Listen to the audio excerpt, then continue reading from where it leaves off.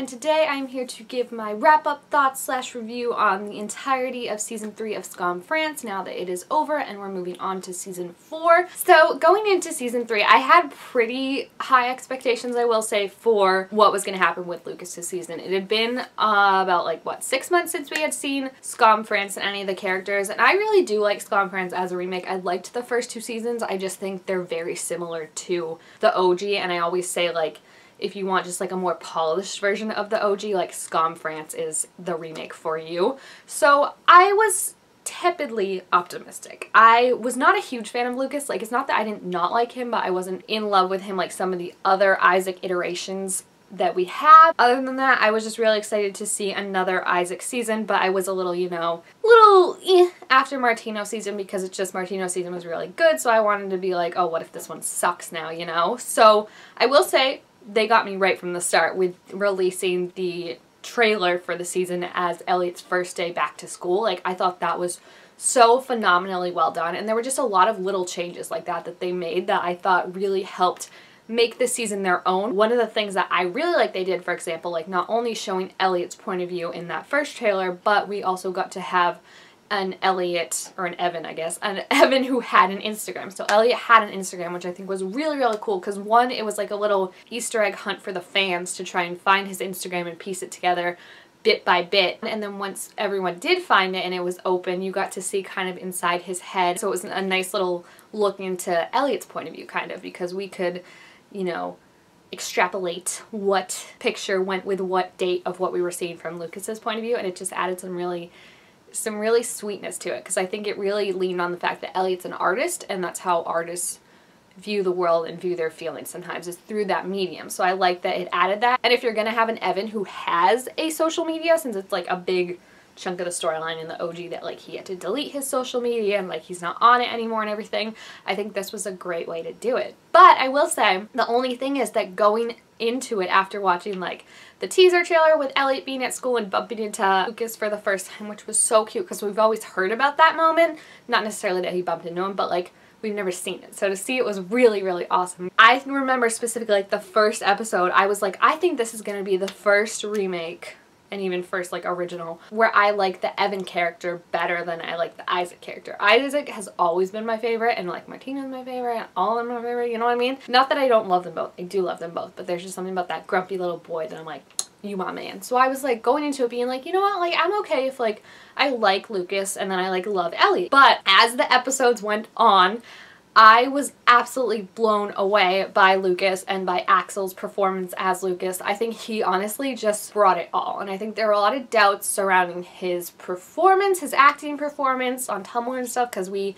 didn't see a lot in the first two seasons. And, you know, sometimes what we did see, it wasn't like a huge range of stuff that, you know, he really had to do. And there's a lot that Lucas has to do. He has to cry his eyeballs out. Like, there's a lot that he has to do. So there's a lot that Axel had to bring. And he really, really stepped up to the plate and I'm in awe of like all the emotion and all the feelings and all the passion that he was able to bring to this character. You can truly tell with him and I don't know how you pronounce Max's name. Is it Maxon? Maxine?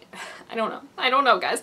But you can truly tell that both of them love their characters so much and that these characters mean so much to them and that they both have such like a good friendship and a good foundation for the chemistry to build off of that. And I think it really, really shows, which is awesome because those are two characters that are very emotionally and physically intimately involved. So you really need that core or else it doesn't feel like it. But then at the same time, I feel you also have to root for both of them for it to work. You know, like when they're together and when they're apart, you still have to care about Lucas and his journey. And there's a point where you have to care about him even if he doesn't end up with Ellie. You have to care about more than the relationship and just these two people by themselves. And I think they really brought it with that. And I feel like a lot of the additions, like I said, were so fantastic. Like the whole thing of Elliot having this special place on the bridge that he took Lucas to and no one else, and the metaphor of light and darkness. Oh, and I'd be remiss if I didn't mention one of my favorite parts of the season that they added in, which is Lucas's relationship with the Girl Squad. I think his relationship with the Girl Squad in general was just so cute and so sweet. Like when he was hanging out with them at the common room, when they went and got the couch and the mattress and all that stuff and just like the way he was so open and so like they were literally like it's just Lucas he's one of the girls like it was so cute and then off of that his relationship with Manon was something I didn't even know I wanted, and yet now you can't even pry it from my hands. It is so, so sweet. Like, that scene of both of them together at like 3 in the morning, just crying and comforting each other, absolutely broke my heart and repaired it at the same time. Like, it's just so sad to watch them, but it's so nice to see them be there for each other and see that, like, they're both people that, you know, they found their families outside of blood, you know, like, they don't always get along great with their family so it's nice to see them you know? I, I honestly think they could be siblings in another life you know? And with Emma too I really like the scene where they added Emma in. I think it was episode 9 it was Emma Manon and Lucas all talking and just getting their problems out together and just being there for each other and I think it was really really sweet. That's one of the things that I do if you're not going to go along the route like I said of keeping it in all the same point of view from one person like the OG does then at least I'm glad that they checked in on like Manon and Emma and showed their friendship and we got to see more of like just what she was dealing with at the same time that Lucas was dealing with and then be there for each other and comfort each other and then also adding Emma in and her just being a really good friend to Manon and also to Lucas and I think it was really really sweet and just really cute and definitely something I didn't expect to come out of the season but was really really happy that it did. I could go on and on about both of their acting skills like Axel just constantly brought it whenever he had to like fall apart and scream and cry. Like I think what really cemented it for me was the episode, episode 5, after he saw Elliot kissing Lucille when he just came apart. Like he was punching things, he was screaming silently, like there was just rage in his eyes and for him to be able to capture all that was so so amazing. So I was super super impressed with both of them and then Max, Max can't say your name, I'm sorry, Max.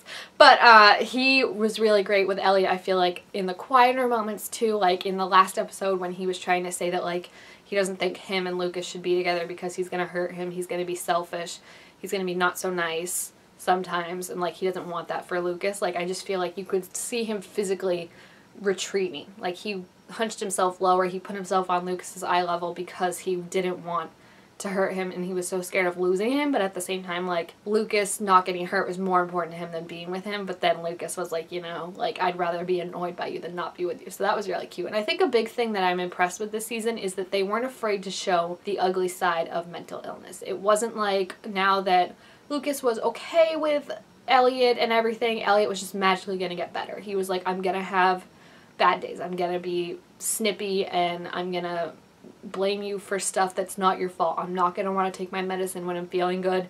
You're going to get mad at me. Like, it's not an if, it's a when. This stuff is going to happen and we're going to have to learn to deal with it. And I think that was really nice because they showed that part, but then also the part of Basil where he was like, you have to meet people where they are, you just have to wait. And they're, just because people are mentally ill, it doesn't mean that there's something wrong with them that like they're toddlers that like we have to wrap them up and take care of them like it doesn't mean that at all. You have to wait for people to surface and they'll tell you what they need. And we saw that with Elliot. Yeah he snapped at Lucas but then he apologized for it. And that's what happens when you surface. Lucas was just there for Elliot and even when Elliot was super depressed and not wanting to talk or do anything he still wanted Lucas. He wanted to snuggle with him and cuddle with him and that was just that. Like Basil said, you have to meet people where they are. So one big thing too for this season that I was iffy about was Basil and Daphne's relationship just because Basil, the way he talked about women was so I was just like, Daphne, you deserve so so much better. But I was also really impressed again with the writing crew that they were able to take that of kind of Basil being in, you know, not the best place and then move it so he realized like this is, he needs to be a better person. Like when he was like, I want to be a better guy for you to be the guy you deserve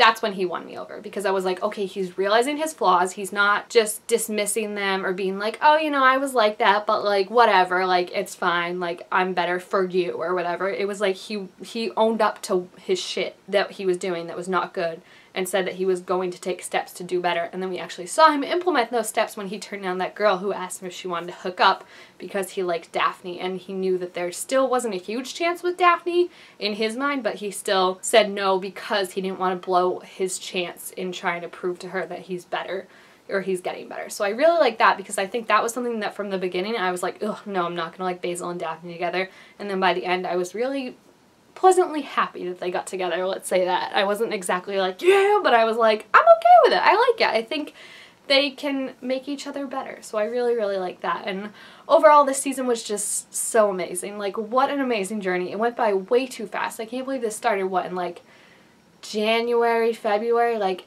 and it's already over. I'm gonna miss seeing them so much. Like obviously we'll see them in season four, but Lucas and Elliot are gonna take more of a back seat now. We won't have like their point of view all the time and everything like that. So I'm really hoping we do get an Elliot season because I think I trust the writers to really handle the mental illness aspect of it very, very well. And I think it's important to see that even if you're in a help a healthy, I try to combine those words, a healthy and happy relationship, it doesn't just make your mental illness go away. So I think it would be nice to see them navigating that and seeing the ups and downs of it, you know, and seeing that love prevails. So I was just super, super impressed with the season. It's definitely, I think it's tied, it might even be a little bit higher for my favorite season ever of a remake. It's between that and season two of the German version with Mia. I really, really love this, guys. I think it was absolutely beautiful aesthetically. The acting was so great. Like, there's just so much I could go on and on about it. So if you've seen the season, please feel free to leave your thoughts about it down below in the comments. Also make sure this video a thumbs up if you enjoyed it and leave your favorite parts of season 3, what really surprised you, what impressed you, what made you sob like a baby. Oh, I forgot to talk about Lucille. How could I forget about that? She's a bitch. and I like that. I feel like they didn't fully redeem her, which I liked because, you know, I think at the end of the day, what her conversation with Lucas just proved to me was that she wasn't right for Elliot. And that's not a bad thing on her, you know, like she just, I feel like, couldn't get the idea of like you don't have to like baby him and do everything for him. The difference between her and Basil of her being like you have responsibilities now blah, blah blah you have to do this this and this which yes that's true that you know you can't just dick around all the time but like Basil said like it's not this big I feel like Lucille just tried to stress of how different it was and like went through a list and Basil was like bro, like, he's a person. Like, he knows what he feels and he knows how to ask for it. So, like, he's gonna be fine. So I did like that because I feel like Lucia was just a bit more bitchy than Sonia or even, what's the, Maddalena? What's the girl from Skam Italia? So I like that there wasn't like a full redemption for her. It just kind of showed that she wasn't the right fit for Elliot. And again, there's nothing wrong with that. It's just Lucas is better fitted for Elliot, and that's just the way it is sometimes. So yeah, leave your favorite parts about the season below in the comments. Your Elliot, Axel, Lucas, however you say Max's name, all that wonderful stuff. And I will see you guys next time. Bye!